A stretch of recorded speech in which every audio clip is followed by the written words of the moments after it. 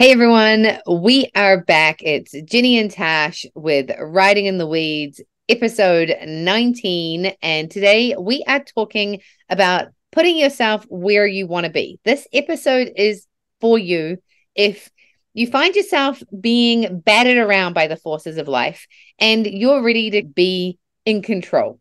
So, we're just going to talk about how if we're present and we're here and we embody that we can create so much more goodness in our lives and we can really put ourselves where we want to be and get further faster with less frustration. So let's just dive on in. Ginny, how you doing today? I'm doing great, Tash. How are you? I am doing good. Thank you. It's a sunny day, but started out kind of cool here. I don't know. Summer's not quite really settling in, which is good because there's no fires. That is good. I wish I could give you some of our heat. We've been sweltering for like two weeks now. So that's fun. Yeah, right. I'm like, you can keep it. I'm okay. We sweltered on the weekend. I love it, but I'm also okay with the lack of too much heat for our bike camps and the little kids on bikes. It's so much more fun when they're not sweltering in the heat. So I'll go back to Mexico for some heat. It's all good. So, and on that note, like there's a force that you cannot control, right? So I find that one really interesting. During the summertime, we plan our events and our bike events because where I want to be is in a space where the kids aren't too hot, that there's not too much smoke. We generally have more smoke in August. So we do less stuff. So it's like digging into the what of putting yourself where you want to be. What are we actually talking about here? So, I want to start at the most basic level with this, and that is really understanding what it means to be embodied. I think that as human beings in our culture and our society, we are discouraged from really being present truly in our physical body. And so what happens is we run around basically in our heads with our hands. Everything is in our hands in front of us. Our phones are in our hands. We're always looking at our hands. We're grabbing things with our hands. And therefore, the rest of our physical body doesn't matter.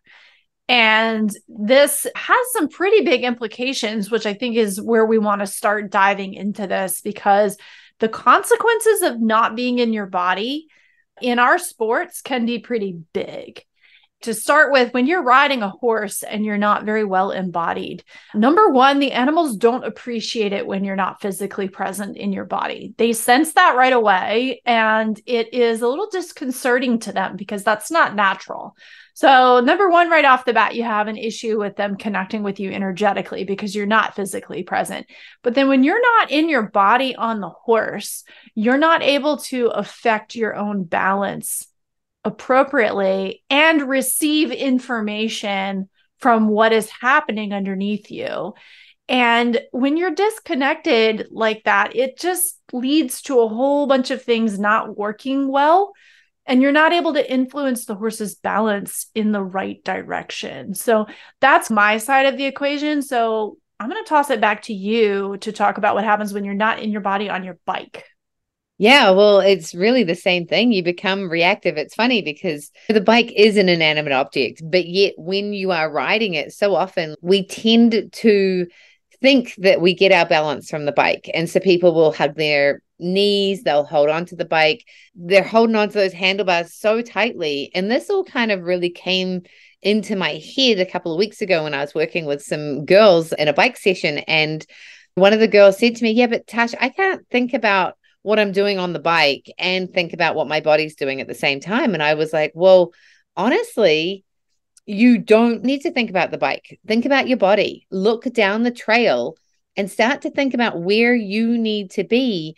And instead of reacting to the bike and where the bike is, because that's in the past. Like what is happening on the bike is actually reacting to what has just happened on the trail. Whereas if you start to look down the trail, you can really see, okay, there's a nice straightaway coming up. So I'm going to rebalance. I'm going to get my feet level. I'm going to look ahead. I'm going to make sure that I am nice and solid. Am I needing to be low? Am I needing to be high? When we're not reacting to something on the trail, we generally want to be higher on the bike. We want to use our bones to support us because it doesn't take as much energy. And then when things get a little gnarly and a little spicy, we want to have our legs, they want to stay fairly straight. So again, we're allowing the bones to support us. And then we lower our arms, we lower our chest down to the handlebars, and we use our shoulder force, we use our core, we use our hips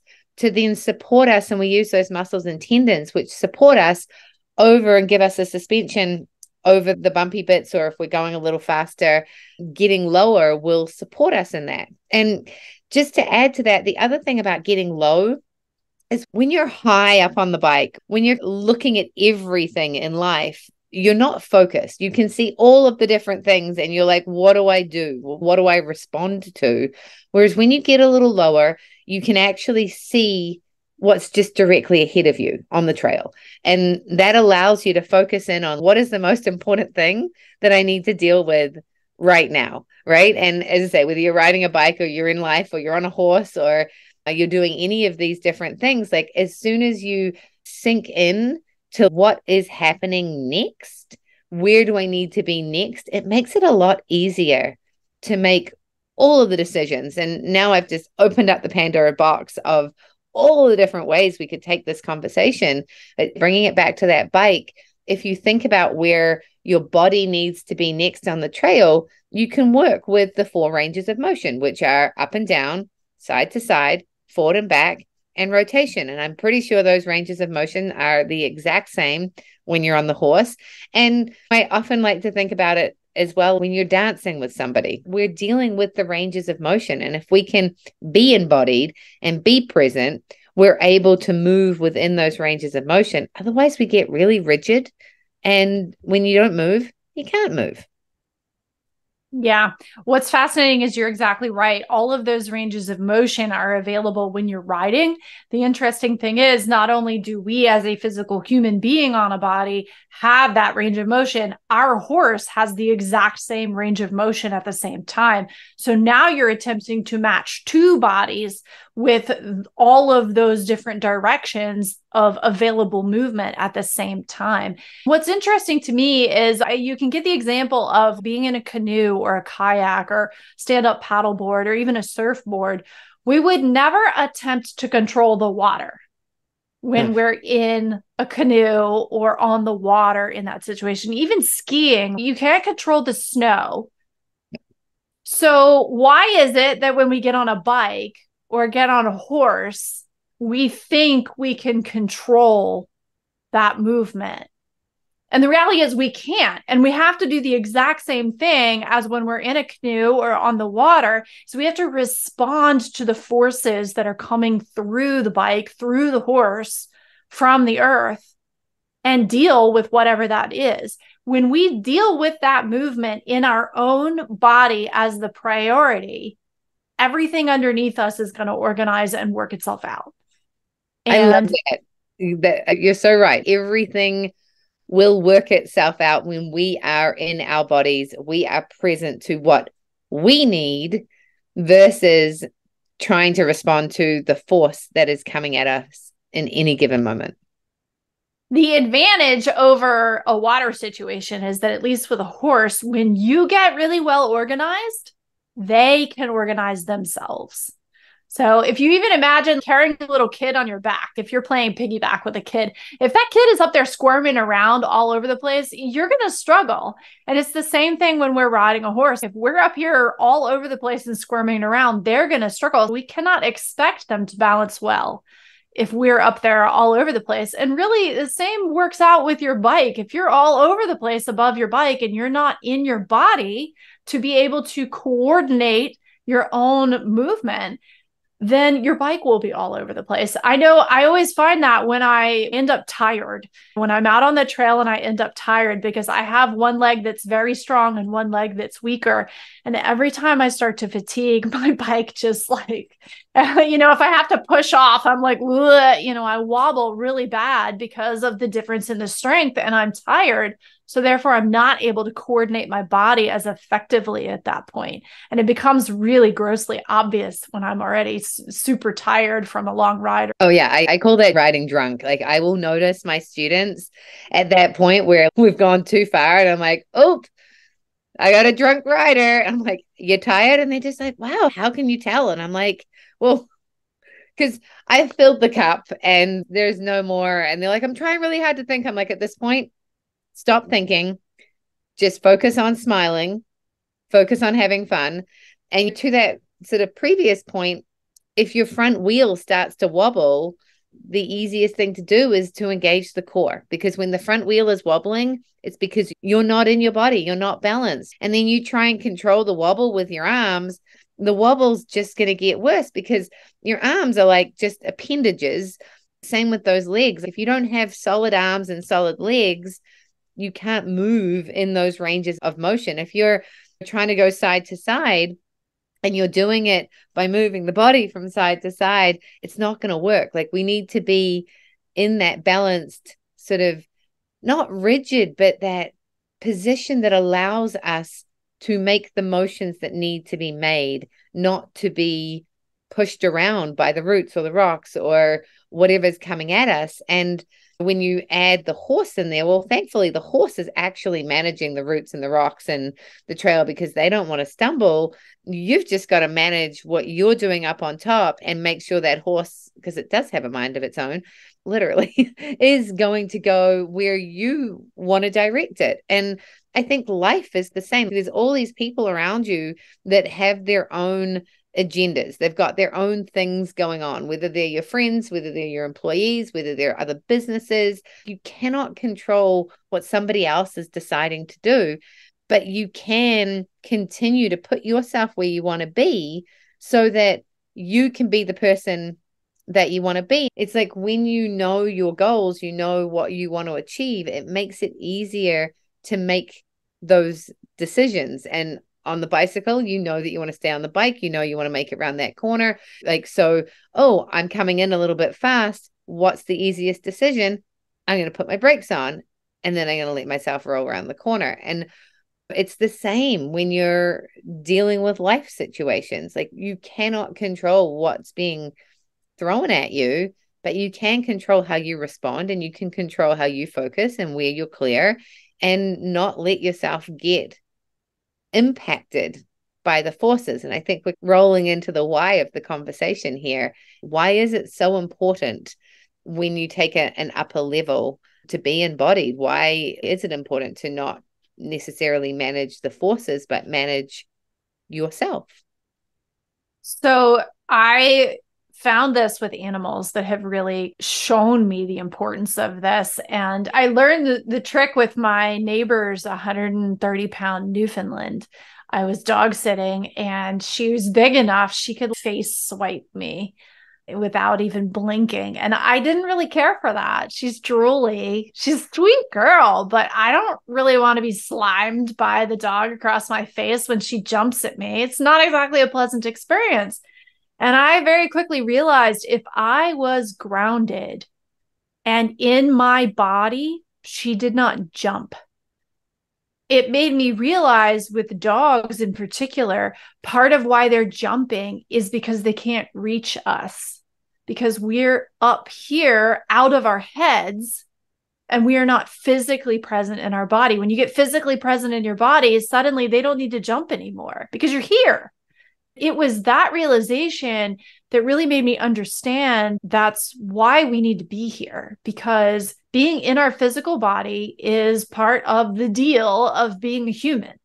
It's just what it is. We don't get to bypass that. We can't skip that. We can't change that. That is our reality. And we've even mentioned that there are so many other things that cascade and improve when you can be embodied. It can be very challenging sometimes because emotions have a physical aspect to them. They are feelings, we feel them physically. And there's an awful lot of things in life that are tough.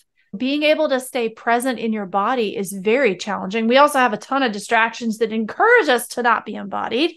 So we've got all this competing stuff going on. But when we're physically embodied, it improves just about everything across the board. Our animals are great barometers for telling us how well we're doing because they're going to respond accordingly. That was one of my struggles with my horse was that he and I were having problems con- connecting. And when he would get scared, it would scare me. Well, when I would get scared, I didn't know this for a long time, but I was leaving my body even more. And so I'm leaving my body and he's already afraid. And then he goes, Well, what the heck? You're gone. I guess there really is something to be scared of here. Right.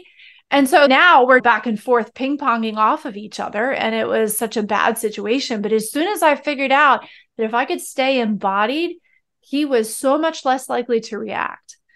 I think we even know this when we encounter people. You can tell instinctually, we know when someone else is embodied or not. We just do. It's fascinating, I find, when you work with a group of kids, you're instantly drawn to certain kids and you are repelled is a strong word, but you pull away from other kids. The kid that's totally embodied and they're stoked to be there and they're engaged and they're in charge of what they're wanting to get out of, even a five year old. Like, I'm here. I love riding my bike. I want to learn some stuff. This person knows how. And they've got this instinctive understanding that if they respond in a positive, fun, and again, my words, but engaged way, they will get the same back. And then you've got the kids that are misbehaving, that are the, when are we going to go on a trail? I don't want to do this. And always that's the person that is scared.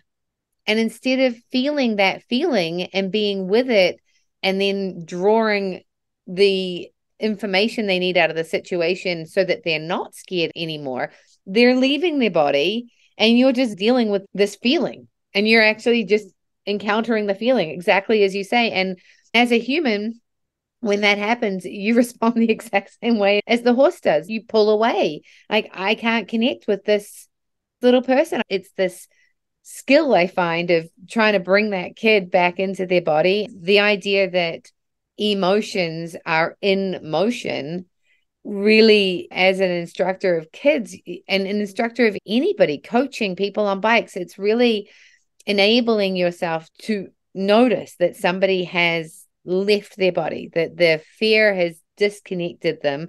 How can you reconnect them without actually physically drawing away and having that response that your dog, your horse, even your bicycle, right? Like the bicycle will disconnect from you when you disconnect from it, when you disconnect with what is going on, everything falls apart. And I've always found it really interesting because with kids they're so cute and and lovable that you can forgive them when they're not necessarily being really enjoyable to be around. But as we get into adulthood if you don't like someone's energy why try right? You're just gonna you're just gonna check out. So often i'm like it's not my job but i'm like kid you can do this. I want to help you but if you were 20 years older, I'd be hard pressed to want to engage with this because you're not willing to engage with it. You're not willing to step into your feelings, step into your body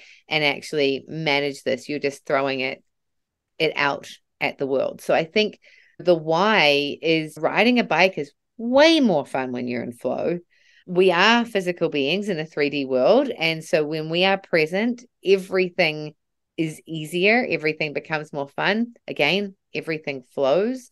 You're not fighting the forces. So, therefore, people want to be around you because you're more aligned, you're more enjoyable, you're generally going to be in a better mood most of the time. You notice when you're out of sorts and you're able to communicate with those around you and say, hey, you know what?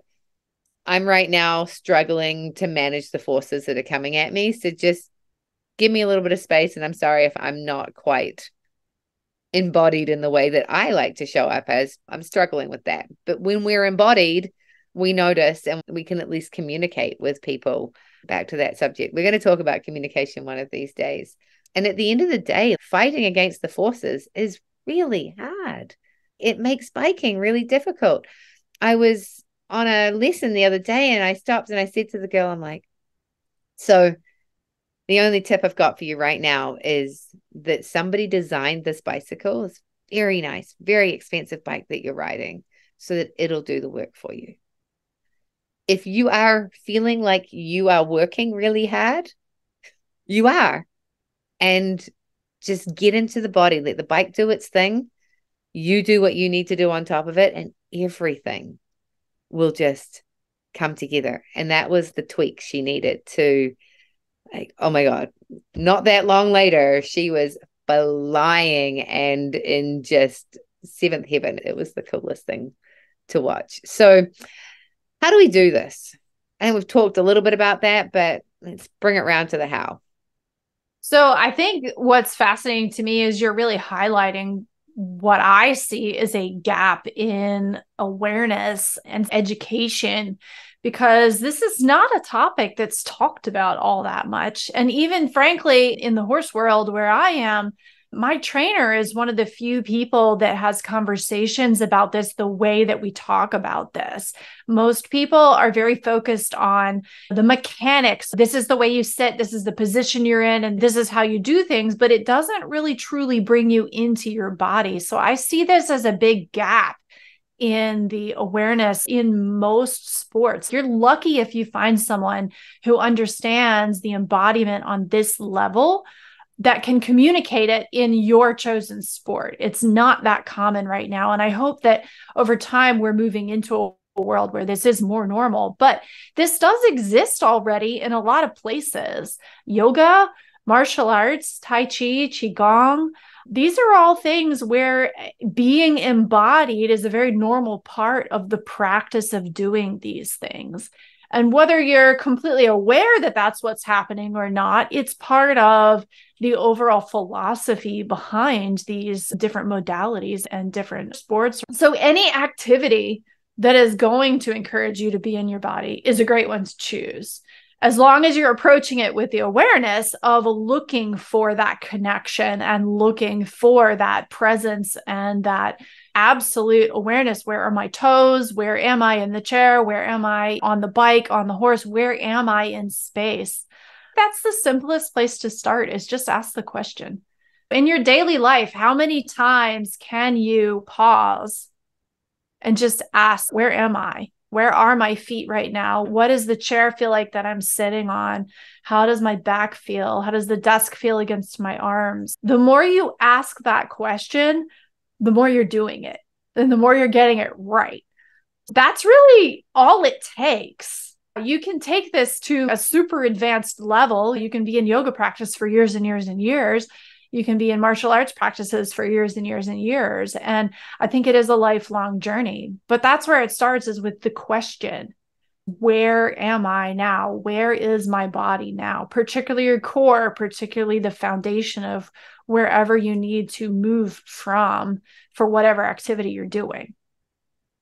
I love that. And I, I have to kind of segue just a little bit, but I think I might be one of our biggest fans of this podcast because I find that when I listen to it, Ginny does all the editing. And then as soon as it comes out, I listen to it. And I find that so many of these nuggets, it's like a reminder of like, yeah, where am I in space? Like, how easy is it to just ask, like, where are my feet? Where's my head? And Joe Dispenza has an amazing meditation that's a 20 minute meditation. And it's just like, where are you in space? And it's so good because it grounds you right into that space. I went to a retreat and we did some Qigong, and I was like, wow, this is incredible. I actually took it back and I used it before I did my bike lessons for a few of the lessons. And then I kind of just sort of forgot about it because I got busy and I stopped really grounding in myself. And I love this because I came to this conversation with the idea of when I'm teaching biking, what I'm finding is that when we get into our body and we think about where our body needs to be on the trail, everything comes into flow. As we've worked through the conversation, really it's about where am I in space and what are these little practices. There's a seven minute Qigong challenge that I partook in and I kind of fell off it 15 days in because I was too busy running around and letting the forces dictate what I was doing. I remember that used to be a meditation when I was a kid of just sitting there, closing your eyes and feeling your body in the chair. What does it feel like to sit on the chair and just being in space? And when we use these tools, and when I think about times in my life that I'm really present, everything flows better. I was saying to Ginny just before we jumped on, I feel like my frown lines on my face, the collagen's finally working or something. And I think it's because I've been getting out and going and doing fun things. Last night, I went and got coached by one of our coaches. I created a coaching program so that I could actually go and get coached. And it, it's really cool. Like instead of me being the coach, putting myself into the position of being the student. That's a whole other conversation I'd love to have as well of putting yourself into embodying the opposite of what you normally do. As I say, this topic can go so many places. And I think at the end of the day, you know, mindset is also important. Future visioning is important. There's all of these things. But as Ginny said, like you've got to start with just knowing where we are in space and knowing we're in, embodying where we are. And I think it's just as simple as that ground, take your shoes off, walk outside, feel the dirt. We can probably sum it up and and wrap it up from there. Do you have any other words of wisdom, Miss Ginny? It really isn't complicated. And I think that's something that we have such a habit of overcomplicating things, but we forget how useful this really is because it literally impacts everything. 10 seconds. 10 seconds is all that you really need. I'm pretty sure almost everybody can afford 10 seconds once an hour. Set a reminder in your phone. Do whatever you need to do. The results are so powerful. I have seen the results on the horses. I've seen the results on the bike, my own yoga practice. When I am really getting it, there isn't any part of my life that's not impacted. Just try it, experiment, see what happens because I don't think you can mess it up either. There's no way to mess it up. You're not going to get it wrong. That's not possible. Just try it. What do you have to lose at this point? Yeah, I love that. It's so true. You can't get it wrong and you have nothing to lose. So get in your body and let us know how this feels. Give us a comment, write a review. Let us know how being in your body really feels. So I'm Natasha Lockey. You can find me on Instagram at Betty Go Hard. What I do in the world is I work with women who are looking to build their confidence, whether it's on a bike, wanting to create a dream life, step into something that's scary, building businesses, really just life confidence is what I am. And I do it through the modality of riding a bike because I just love bikes. And I would do that so that you can have more fun because when we celebrate, when we embody what's going on for us, then life just becomes more fun. And honestly, you get stuck in the weeds. Confidence is something that we grow and we learn from. It's not something that we are born with. So I'm here to help you find it and keep it.